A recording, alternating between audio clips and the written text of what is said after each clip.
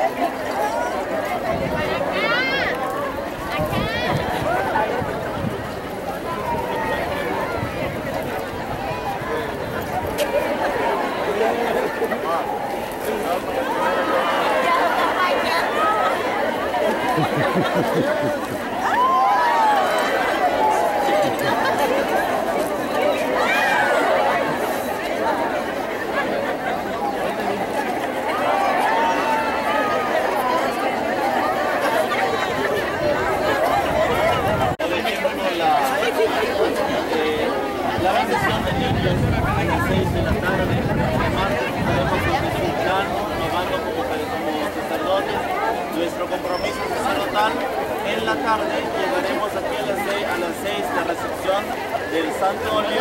Todos los enfermos, todos los enfermos, este acento. Básenle, básenle, tiene la idea, ¿verdad? Para hablar de enfermos, ¿no?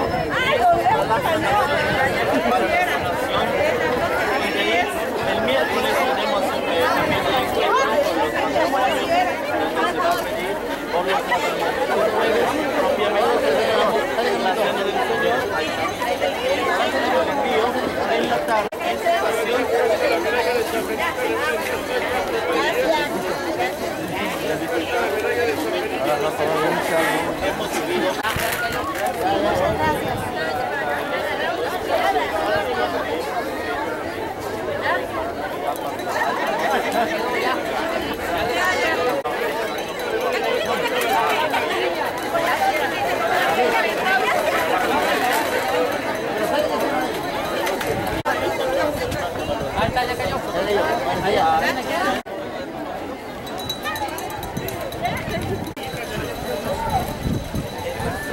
Eso.